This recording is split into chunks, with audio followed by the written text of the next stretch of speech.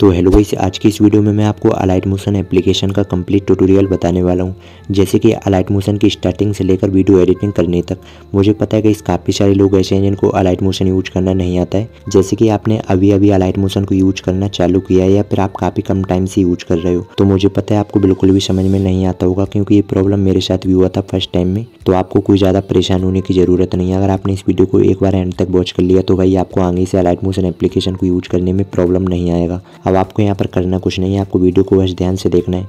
अगर आप light motion application को पहली बार यूज़ कर रहे हो या फिर आपको यूज़ करना नहीं आता है तो आपको वीडियो को पूरा एंड तक वॉच करना है। अगर आप लाइट मोशन को काफ़ी टाइम से यूज़ कर रहे हो या फिर आपको अच्छा खासा यूज़ करना आता है तो भाई आप इस वीडियो को छोड़कर जा सकते हो। अब आपको लाइट मोशन को यूज़ कैसे करना है, उसके लिए आपको वीडियो को ध्यान से देखना है। जब भी आप अपने लाइट मोशन को ओपन करोगे, आपको कुछ इस तरह का इंटरफेस देखने को मिलेगा। अब यहाँ पर जो ऊपर की साइड में प्रोफ़ाइल लोगो है ना, आप प्रोफ़ाइल लोगों की मदद से एक अकाउंट बना सकते हो।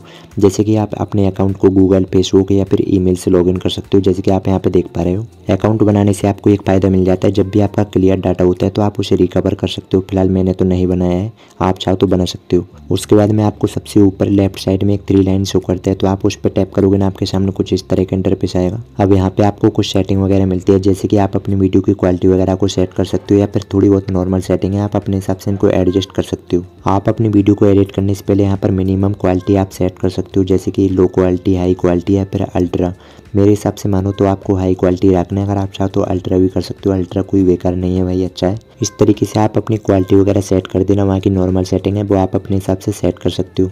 उसके बाद में आपको थ्री लाइन से बैक आना है। थ्री लाइन पे से बैक आने के बाद में आपको नीचे की साइड में काफ़ी सारा ऑप्शन मिलेगा। बट मैं आपको बता देता हूँ, सबसे पहले ट्यूटोरियल्स में जाके। ट्यूटोरियल में आपको कुछ भी काम नहीं पड़ता है भाई, यहाँ पे इसमें जाने की कोई ज़रूरत नहीं है। अगर आपको अलाइट मोशन यूज़ करना नहीं आता है तो आप सीख सकते हो। आपको ज़रूरत पड़ती है प्लस के आइकन की तो आपको प्लस के आइकन पर टैप करना है। प्लस पे टैप करने के बाद में आपके सामने कुछ इस तरह का इंटरफेस देखने को मिलता है।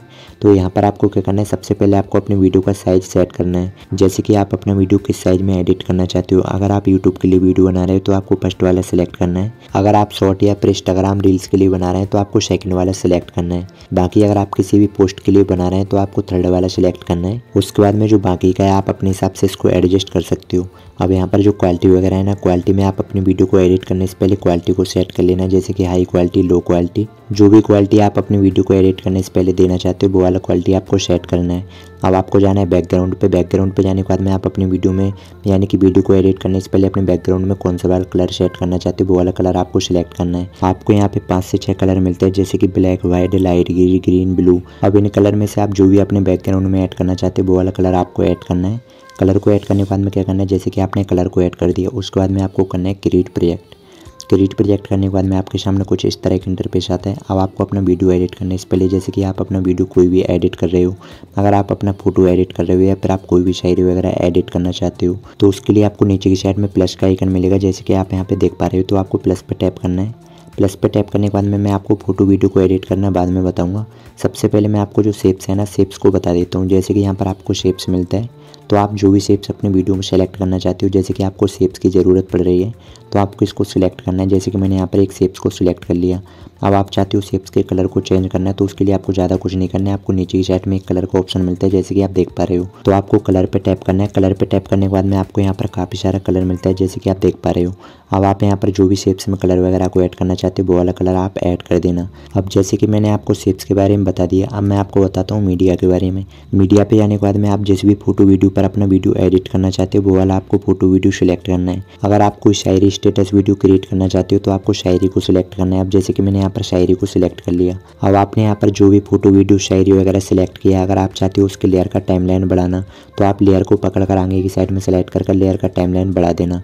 उसके बाद में गई अगर आपको अपने लेयर में इफ़ेक्ट को ऐड करना है तो उसके लिए आपको जाना है नीचे की साइड में इफ़ेक्ट पे। इफ़ेक्ट पे जाने के बाद में आपको जाना है एड इफ़ेक्ट पे। एड इफ़ेक्ट पे जाने के बाद में आपको गई यहाँ पर काफ़ी सारे इफ़ेक्ट मिलता है बट आपको जो होम स्क्रीन पर मिलता है ना, यहाँ पर तो आपको नॉर्मल वाला इफ़ेक्ट मिल जाता है। जैसे कि जब भी आप इफ़ेक्ट को सर्च करते हो तो भी यहाँ पे सजेस्ट करता है, अगर आपको कोई ज़्यादा इफ़ेक्ट चाहिए तो आपको सर्च पे जाना है। सर्च बॉक्स में जाने के बाद में आपको इफ़ेक्ट का नेम लिख के यहाँ पे सर्च करना है। जैसे कि आपको यहाँ पर काफ़ी सारे इफ़ेक्ट मिलता है, मैं आपको सिर्फ़ एग्ज़ाम्पल के लिए बता रहा हूँ। तो यहाँ पर जैसे कि मैंने ए लिख दिया, ए के बाद में यहाँ पर काफ़ी सारे इफ़ेक्ट आ जाता है। आप यहाँ पर जो भी स्पेलिंग सर्च करोगे, उससे रिलेटेड यहाँ पर जो भी इफ़ेक्ट बनाए ना, वो वाले इफ़ेक्ट सभी यहाँ पर शो करेगा। जैसे कि मैं आपको बता रहा हूँ, अगर आपको सिर्फ़ एक इफ़ेक्ट को लेना है तो आपको कंप्लीट नेम को लिखना पड़ेगा। जैसे कि मैं यहाँ पर लिख देता हूँ ग्लो स्कैन जैसे मैंने ग्लो स्कैन सर्च किया तो ग्लो स्कैन आ गया। इसी तरीके से आप इफ़ेक्ट को सर्च कर सकते हो। अब मैं आपको आगे का प्रोसेस बता देता हूँ। जैसे कि आप अपनी शायरी को स्क्रीन पर सही से एडजस्ट नहीं कर पा रहे हो तो आपको नीचे की साइड में मूव वाला ऑप्शन मिलता है तो आपको मूव पे जाना है। अब यहाँ पर आप अपनी फिंगर की मदद से अपनी शायरी को स्क्रीन पर ऐड कर सकते हो। बाकी आपको साइड में और भी काफ़ी सारा ऑप्शन मिलता है। तो फ़र्स्ट वाले ऑप्शन की मदद से आप अपनी शायरी को लेफ़्ट राइट कर सकते हो। उसके बाद में आपको सेकंड वाला जो ऑप्शन है ना, उसकी मदद से आप अपनी शायरी को जूम आउट कर सकते हो। इस तरीके से आप मूव एंड ट्रांसफॉर्म की सेटिंग को एडजस्ट कर सकते हो। बाकी आपको मिलता है यहाँ पर बॉर्डर एंड शेडो का।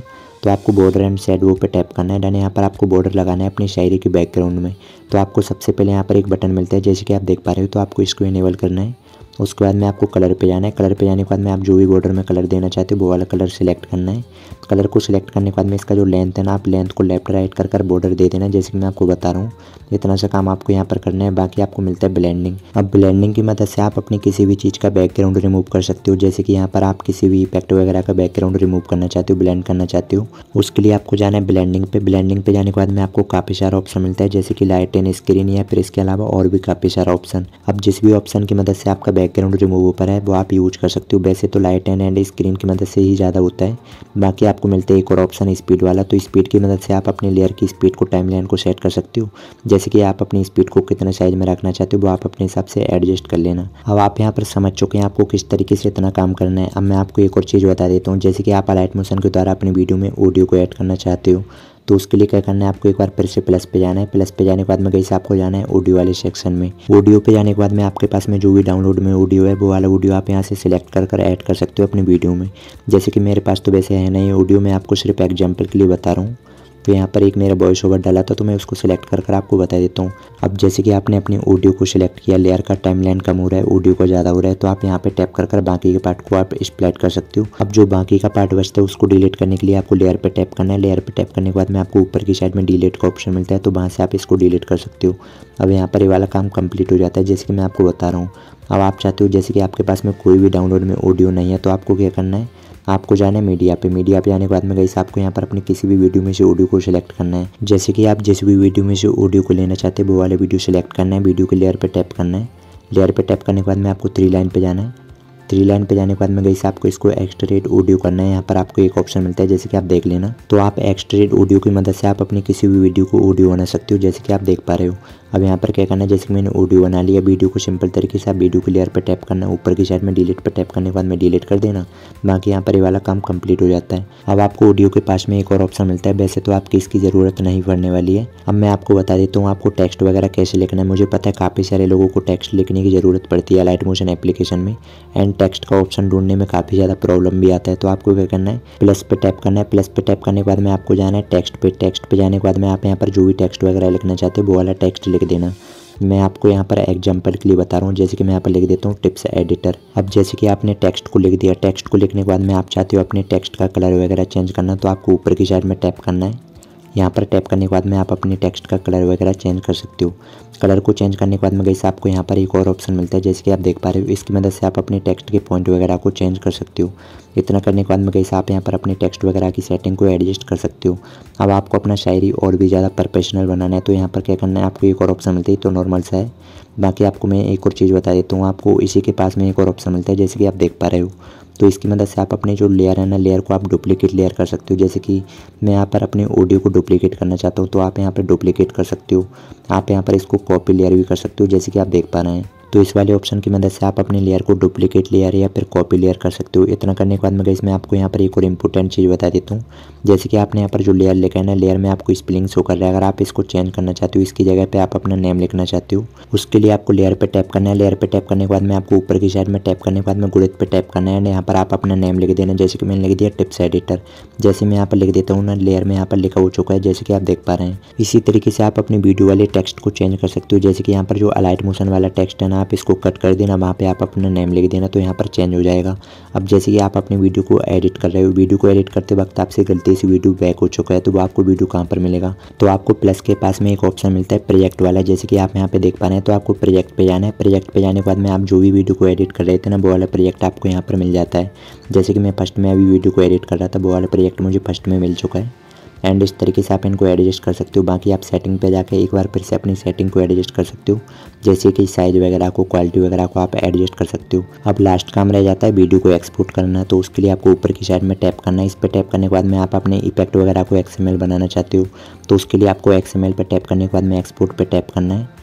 एक्सपोर्ट पे टैप करने के बाद में आप अपने ड्राइव में भी आप यहाँ पर सेव कर सकते हो, अपने एक्समेल को या फिर किसी के साथ में शेयर भी कर सकते हो। उसके बाद में आपको यहाँ पे टैप करना है। इस पर टैप करने के बाद में आप अपनी क्वालिटी को यहाँ पर एडजस्ट कर सकते हो। जैसे कि आप अपने वीडियो को किस क्वालिटी में सेव करना चाहते हो हाई क्वालिटी लो क्वालिटी या फिर अल्ट्रा तो यहाँ पर आपको एक ओपेसिटी भी मिलता है। आप इसकी मदद से भी क्वालिटी वगैरह को चेंज कर सकते हो। बाकी ये तो नॉर्मल सी सेटिंग है। आप अपने हिसाब से इसको एडजस्ट कर सकते हो। अब यहाँ पर जो एक्सपोर्ट का ऑप्शन मिलता है ना, आप एक्सपोर्ट पर टैप करने के बाद में आप अपनी वीडियो को एक्सपोर्ट कर लेना। एक्सपोर्ट पर टैप करने के बाद में मैं आपको एक चीज़ और बता देता हूँ, आपको वीडियो को ध्यान से देखना है। काफ़ी सारे लोग एक्सपोर्ट पर टैप करने के बाद में बैक कर देते हैं, यहाँ पर सोचते हैं, बिल्कुल सेव हो चुका है भाई। तो यहाँ से सेव नहीं होता है, आपको एक बार फिर से सेव पर टैप करने के बाद में इसको सेव करना होता है। तो इस तरीके से आप अपने अलाइट मोशन एप्लीकेशन को यूज़ कर सकते हो। मुझे पता है, अगर आपने यहाँ तक वीडियो को देख लिया है तो भाई आपको आगे से कभी भी अलाइट मोशन को यूज़ करते वक्त प्रॉब्लम नहीं आएगा। अगर आपको फिर भी कुछ भी प्रॉब्लम आता है या फिर वीडियो को देखने के बाद में भी आप नहीं समझ पा रहे हो तो आप मुझे कमेंट बॉक्स में बता देना। या फिर सिंपल सा तरीका इंस्टाग्राम पर फॉलो कर कर मैसेज कर देना, मैं आपकी हेल्प करने की पूरी कोशिश करूँगा। बाकी गई इस वाली वीडियो को यहीं पर करते हैं, समाप्त जाने से पहले वीडियो को एक लाइक एंड चैनल को सब्सक्राइब कर देना। बाकी मिलते हैं नेक्स्ट वीडियो में, तब तक के लिए है